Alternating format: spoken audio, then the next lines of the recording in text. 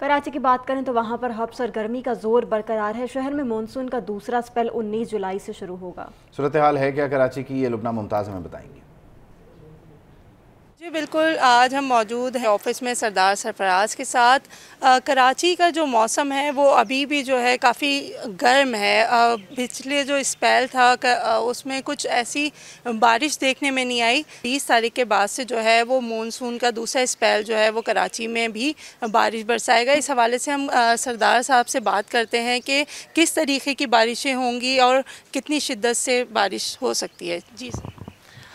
देखिए इम्कान यही है कि दूसरा मानसून स्पेल जो है ना 19 तारीख से जो ईस्टर्न सिंध है, मशरकी सिंध उसमें थरपारकर डिस्ट्रिक्ट और उमरकोट डिस्ट्रिक्ट में ही पहले राजस्थान के रास्ते से हवाएँ दाखिल होती हैं और फिर वो फैलते फैलते आगे बदीन और फिर ठट्ठा, सुजावल और होते होते कराची तक और इसी तरह से वस्ती सिंध और बालाई सिंध तक पे भी अगले दो दिनों में फिर फैल जाने का उनका इम्कान है। तो कराची में बीस, इक्कीस को दो दिन या बाईस को भी हो सकता है, लेकिन ज़्यादा इम्कान यही कि दो दिन है।